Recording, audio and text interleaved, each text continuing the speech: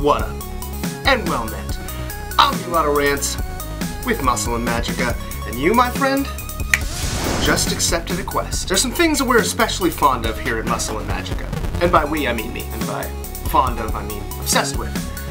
And by Muscle and Magicka, I mean my basement. Anyway, one of those things is slaying misinformation, and I'd be hard-pressed to think of many topics with as much rampant misinformation as that of diet soda, and more specifically, aspartame. Aspartame causes cancer. Aspartame causes headaches. Aspartame causes vampirism.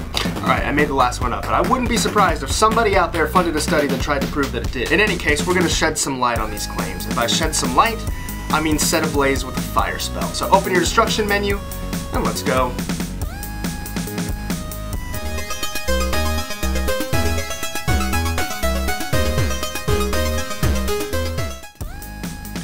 First, we need to understand where exactly the demonization of aspartame came from. It started with some rodent studies that seemed to indicate some kind of correlation between certain doses of aspartame and cancer in rats.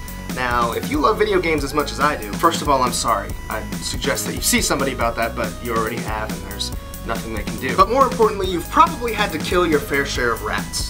Now, you may have picked up on the fact that there's some fundamental differences between humans and rats, none the least of which are some pretty important physiological differences in the way they process nutrients. In other words, at best, rodent data may be able to help us form some hypotheses about the way things might work in humans. At worst, it's completely irrelevant. You also have to consider the doses that we're talking about here. Any nutrient in a large enough dose could be potentially deadly. Take water, for example. The fact of the matter is, they were pumping these rats full of doses of aspartame that would be feasibly impossible for humans to actually consume in the real world. You'd have to drink like 20 gallons of diet soda per day. Even so, the FDA has given us an overly safe, very conservative markdown and set the acceptable daily intake of aspartame at 50 milligrams per kilogram of body weight, which for an average 150 pound individual translates into about 20 cans of diet soda per day. The bottom line is this, if you find yourself in that category of person that drinks 20 cans of diet soda every single day, you might want to think about cutting back but even then, you'll probably be fine. The other major claim against aspartame is that it causes headaches. Now, despite aspartame being one of the more heavily researched substances, we still don't have any actual concrete data that supports this claim. And what little evidence we do have is anecdotal, which as you probably know, means it doesn't carry much weight. For the most part, anytime we've seen any actual possible connection in the research, it's been in people who were already predisposed to headaches.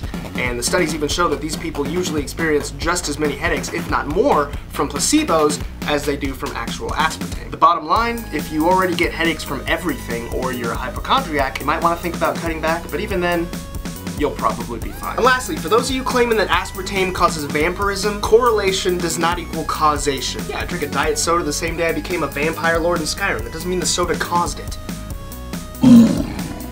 On a serious note, diet sodas do have one significant benefit, and that's reducing calories. I mean, think about it. If you replace two daily average 12 ounce cans of Mountain Dew with Diet Mountain Dew, you've just shaved off 2,380 calories per week. That's a full day's worth of calories for some guys. Personally, I drink all kinds of diet soda, especially when I'm dieting to keep my belly full, give me something sweet, and I don't have cancer or headaches. Well, technically I did have cancer. And I guess I get occasional headaches. I'm feeling kind of